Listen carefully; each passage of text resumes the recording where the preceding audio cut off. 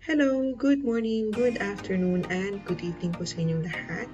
Muli, ako po ay nagbabalik sa Whitey World sapagkat nawala po yung aking um, account. I mean, hindi po siya nawala. Kumbaga, nagkaroon lang ng konting problem kasi nga ang ginamit ko pong account is DepEd account. So, marami po siyang process, marami po siyang um, kailangan gawin doon. So, kaya hindi na po ako gumagawa. Almost 4 months na po akong hindi gumagawa ng vlog. And then, um, pero at the end of the day, naging okay po yung aking um, YT account. So, sapagkat tinulungan po ako ni Sir Fax, by the way, shout out to Sir Fax Learning Channel. So, dahil po sa kanya, naging okay po yung account ko. So, and thankful po ako kasi na-receive ko na po yung aking um, Google AdSense. So, ipakita ko lang po. Ayan. So, ulitin rin po yung, um, yung actual po niya. So, ayan. So, nakaka-inspired po kapag makaka-receive ka po ng ganitong ano, lalo na kapag ikaw po ay isang YouTuber. So, ayun. Alright. So, since tapos na po tayo doon sa aking introduction, so magsa-start na po tayo. Punta na po tayo sa ating um, isi-share ko sa inyo, which is um, Google at Google Forms. So, paano nga ba kung gumawa ng Google Forms? So, punta lang po tayo sa 9 dots and then click mo lang po yung forms. Yan. Medyo mabagal po. And then, yan po yung makikita nyo. So, yung iba, pumupunta po dito sa blank. So, titingnan muna natin yung blank ha. O ano yung laman. So, yan po yung laman. So, yan lang po. So, ang gagawin lang po yan, sapagkat isa lang yun, mag-add add, add up ka lang dyan. So, yan. And then, eh, hindi ko ito ginagamit. Ang ginagamit ko is itong assessment. So, click po lang, click mo lang yan. And then, after that, yan po ang makikita ninyo. Ang gagawin po natin dito, magta-type po tayo ng ano bang ita-title natin dito. Sige, ito.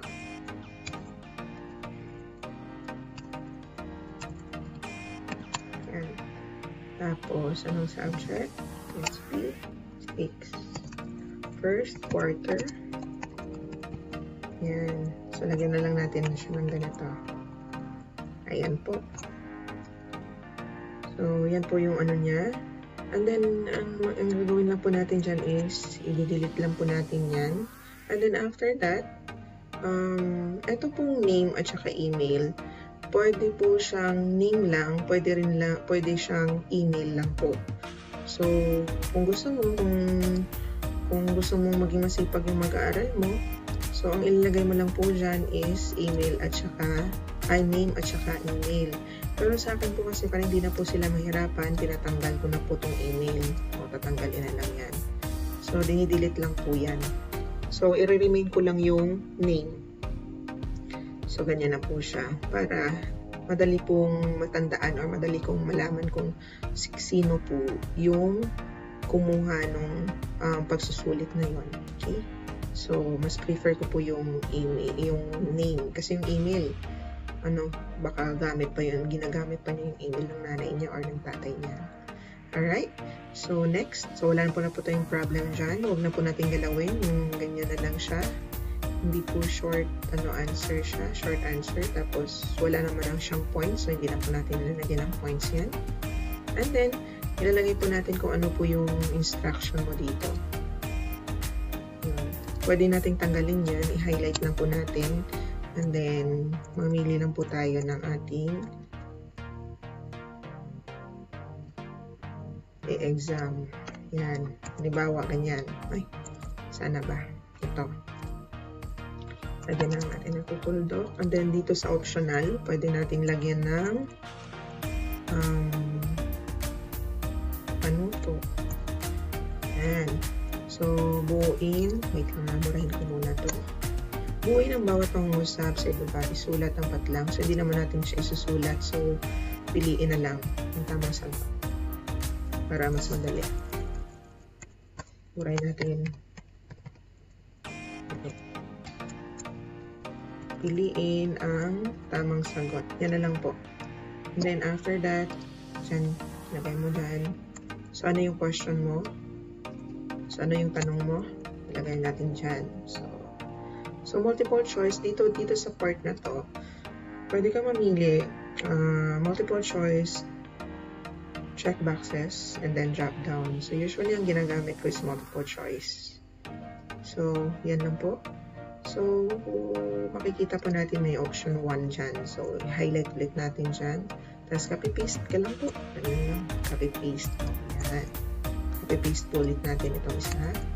And forward. Then, copy-paste ulit natin. Yan. So, pag makikita mo, may sobra pa. So, ang gagawin lang po natin dyan, i-remove lang po natin yan. then, once na na-remove, so tatlo na yun, di ba? So, and then after that, may check po dito. So, makikita kang check. So, paano yan? Eh, hindi naman po yun yung tamang sagot. Ang gagawin lang po natin, punta po tayo dito sa answer key. Tapos, click mo lang po yan. And then, halimbawa, ito yung tamang sagot. So, dalawa siya. So, ibabalikan mo lang yan. I-click-click mo lang siya. And then, after that, may one, uh, depende kung ilang points mo yung gusto mo or one point lang.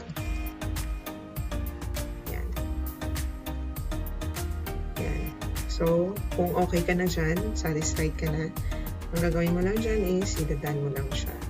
Okay? Next, second na naman tayo. Try natin yung pangalawa. Same pa rin. Um, same process. Ganyan lang. Highlight mo lang yung ano gusto mo na nakahanda na. So, nakalagay dito, check boxes. So, ang gagawin mo lang dyan is lipat mo na siya sa multiple choice para magiging uniform po siya. Okay? So, ito naman marami. So, tatlo lang naman yung option. I-delete, ay, i-delete natin. So, paano yan? Na-delete ko, paano? So, gagawin mo lang, enter mo lang yung computer mo or laptop mo. So, para madagdagan, enter lang. Ayan. So, bawas tayo. Ganun lang. X lang. Kapag magba, pag magdagdag, enter, enter lang. Okay? So, next, number 2. Uh, ano ba yung question number 2? Ito. Hindi na ako magta-type para mas mabilis. Copy-paste, copy-paste na lang po siya para mas mabilis. Ayan, copy-paste. And then another one here. Alright. Ayan. So, tatlo po yung option niya. So, tama siguro uh, naipakita, pakipagtulungan sa pagtatrabaho kasama ang iba tungo sa isang layunin. So, tama na itong sagot niya. So, kasi may nakalagay na Nakas, uh, yung symbol niya kasi is check. So, ibig sabihin po is correct. So, and then after that, i-double check natin kung 1 point ba or baka mamaya 2 points pa lang nakalagay dito. So, double check po natin dito rin. Multiple choice, correct. Tapos required, minsan kasi naka-off to. So, dapat i-on lang po natin yan. Alright? Next. So, paano yan? Ang next na ano niya is hindi siya naging ganito, hindi magiging uniform. No, don't worry kasi i-delete lang po natin yan. And then, ito rin, hindi naman natin kailangan yan. So, i-remove lang po natin yan. And then, the other one here, ganun din. Same thing. And then, so, paano dalawa lang yung mag-create mo? Hindi.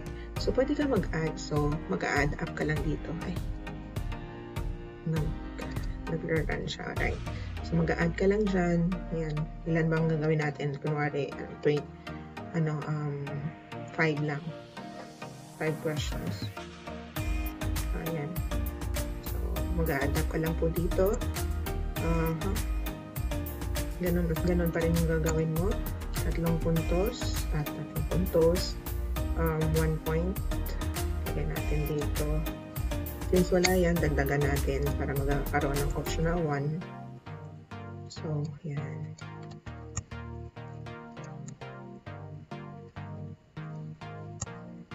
para mas mabilis. Ano to? Hindi ko ata na-copy. Pilitin na natin to. So, okay na siya. So, sabi ko nga sa iyo, naka dapat i-required po siya natin. Multiple choice. Tama na po yan. And then, wala po siyang check, check, check. So, anong gagawin natin? So, lagyan mo lang po ng points dito. Yan, one, one point. So, ano lang sagot dito? Letter C yata. So, paggawa ng mga kasya dapat Nagpapakita ka ng pagkamakatwiran sa mga naapektuhan ng pasya. so, ayan. So, after nyan, idadan mo lang po siya. So, double check, multiple choice, tamang sagot, and then one point. One point. So, ayan na po. Yan. Okay na po yan. And then next naman is number 4. Hanggang number 5 lang tayo. Okay, yung yan. So, huwag mag-alala kasi babak natin. So, number 4. Number 4 na. Yan na po yung 4. So, multiple choice. Required. And then, lagyan natin ng isa pa. Option. Number 2. And then, maglagay muna tayo ng question. Yung choices. Ibisan ko lang. Next. RC. Okay. Ganyan lang po. And then after that is wala lang check dito. So, lagyan lang po natin ng 1 lang din dito. And then, ano bang sagot dito? A. Tumukoy sa, tumutukoy sa pagtatago ng detalye kung sa ng isang suliranin. Okay. So, tingin ko okay na yung A. Yung sagot niya is letter A. Double check natin na. So, sa tingin ko okay na po siya. So, Halimbawa, um, hindi pala yan yung tama na tumutukoy sa pag-aaral mabuti, pag-aral na mabuti sa patunay gumawa ng isang pasyasa. Sa tingin ko, letter C. Yan. Change. Change lang po kapag may nagkamali po tayo. So, C. And then, yan po. Okay? Halimbawa, nag-change ka na naman. So, dito ka lang po pumunta. Diba, pag tatlo, yan, tatlo lang din yung sagot. So, pero dahil yung pinaka tamang sagot ay letter C, ito finalize natin natin siya. So, yan.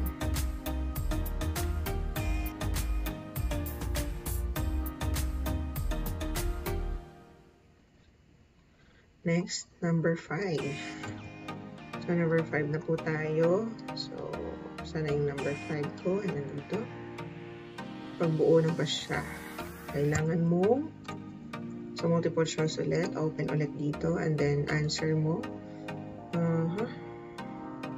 Yan. Number 5. So, magkakaroon ng patunay na. So, ayan po. Mm -hmm. So, magkakaroon ng patunay. And then, letter pilit. And then, letter C is hingin lang. Ay, mali. Tanggalin ko muna to, tapos enter lang. Tapos go. So, ang tamang sagot dito is magkaroon ng patunay. So, yan. Answer mo lang and then one point. Then, check um, A and then done. Okay? So, naka-record naman na siya. So, ayun. So, ipapasa na po natin pa. So, paano po natin siya isa-submit. Okay, punta lang po. So, since okay na po siya, tingnan natin na 1, multiple choice check. 2, click lang natin yan check. Multiple choice, 1 point. John, 1 point. Required. At question. Number 4, 1 point. Required. Multiple choice. Check. So, number 5, multiple choice check. Answer, and then required. So, what's next? ano yung next natin na gagawin? So, pag tinignan po natin, questions pa lang yung nagagawa natin.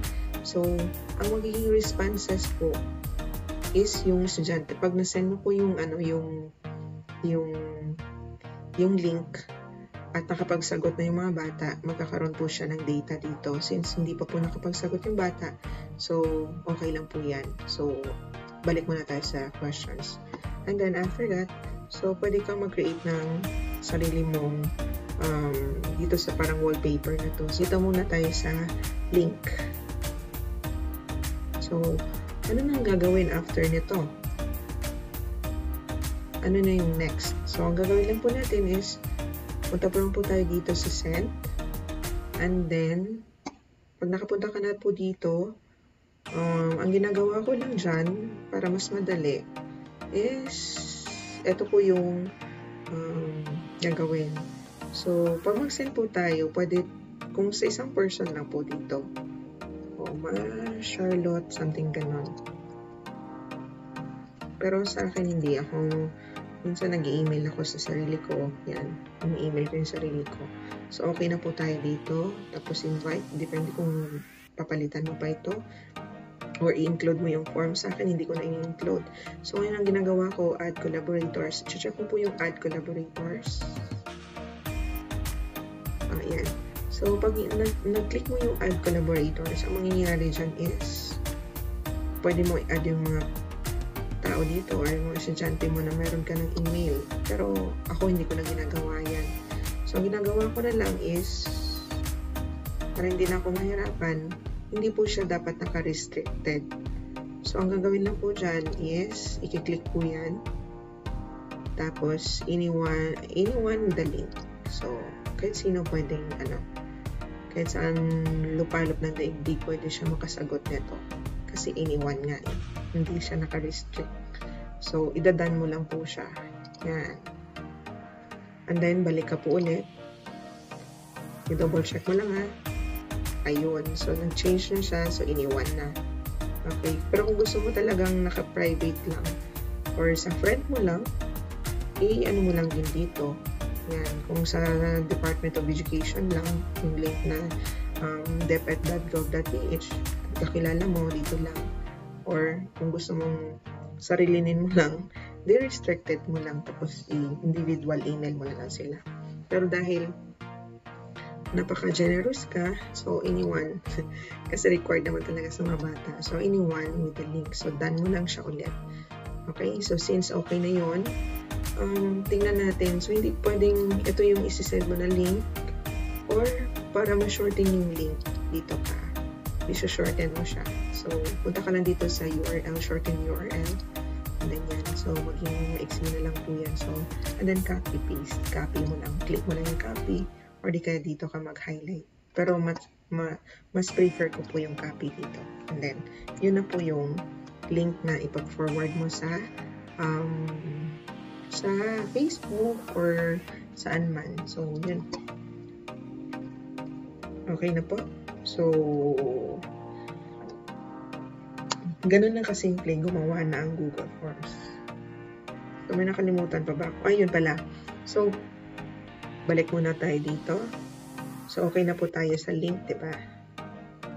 So, ang tanong, halimbawa, kapag um, Kapag na-forward na po yan sa ano, balik po tayo dito. Kapag na-forward po, kapag na-forward, na-forward po natin ito sa, limbawa, ako teacher, tapos may i-forward, sabi ko, um, yung friend ko humingi ng link para isahan na lang. So, pwede naman po yun. Pwede mong i-share. O, nag-send ka na. For example, nag-send ka na ng link. Sabihin mo, friend, kung gusto mong um, halimbawa, kung gusto mo ng sarili mong email, pwede ka mag-create uh, parang copy, copy ay, lang, na-click ko. So, ang gagawin mo lang dyan, eh, di na-send na yun, nasa email na. Ang gagawin lang niya, instructionan mo lang siya na make a copy. Tapos, para may sarili po siyang data. Kasi kung kung galing sa iyo yung ano yung link na yun at ikaw ang nag-create noon tapos pinorward mo sa friend mo na kapwa mo teacher ang mangyayari noon tapos ipo-forward niya rin sa kanyang estudyante. So magko-combine po yung score ng bata ng yung magko-combine po yung data. Halimbawa grade 6 Ruby ako tapos grade 6 Quartz yung yung friend ko na teacher na yon so yung data ng Quartz at saka ng Ruby magko-combine So, eh kung gusto mong kunin lang yung yung data ng ano nyo, ng estudyante nyo, ng data lang ng Ruby, so ang gagawin niya lang, ang data tsaka data ng Quartz, ang gagawin niya lang po is para ma-separate po yun with same uh, information dito. May ka-copy lang po and then may ka-copy lang po and then mag-create lang po siya ng title niya dyan and then share, uh, okay na po yan, share, uh, tapos hanapin niya lang po sa My Drive. Okay? So, yun lang ang gagawin niya. So, i-open niya lang yung My Drive niya. Uh, halimbawa, ah, lagay ko ha, ESP. Yun ang gagawin niya, ESP final. Oh, final. Ay, sample lang. So, ilagay ko po okay. O, oh, di ba na-email mo na to? Kunwari, nasa sa'yo na yan. So, na-email mo na, i-okay mo lang. Tapos, pag chinek niya yan, yan na yung sarili niya. Ito yung sarili niya. Paano mo nalalaman kung sarili niya? Punta ka lang dyan. And then, punta ka sa drive. Anong final name mo kanina? So, nandito na siya sa ano mo. So, yun yung i-open mong link ito yung i-open mo na link. Yan yung i-open mo na link. And then, yan, sarili mo na yan kasi nag-make nag a copy ka. Yan. Tapos, same procedure pa rin, same information. Tapos, pero sa'yo na, sa'yo na yung data, di ba? So, ang gagawin mo lang, since sa'yo na yan, ito yung ipo-forward mo sa uh, sa estudyante or sa estudyante mo na link huwag yung link na pinagkopyahan mo doon sa friend mo. Okay? So, ibig sabihin may sarili ka na na link na nakasave. So, ito po yung gagamitin mo. So, ganun pa rin yung procedure. So, titingnan mo dito ha kung ano tingnan mo dito. O, naka-restricted siya kasi nga sa kanya uh, iba na, na sa'yo na to, bago na to. So, i-change mo lang yan. Tapos, anyone with the link. And then, yun yung ikakopy mo. Done. Punta ka ulit dito. And then, dito ka sa shorten. Yan. Yan yung ikakopy mo. At yun ang ifo-forward mo sa um, estudyante mo. Alright? Sana po ay naintindihan yung aking explanation. Although, medyo naantok na rin po ako. Kasi ano na po eh, um, 4 a.m. Ah, 4.47 a.m. So, pero okay lang po at least um, kung naligaw po kayo sa aking channel, so, ayun. At kailangan mo ng matutunan yung Google Forms, yan. Nandito lang to. So, ayan po. So, thank you so much sa inyong pakikinig. Sana ay naintindihan nyo at naunawaan nyo and maraming maraming salamat po muli. At have a nice day. Bye!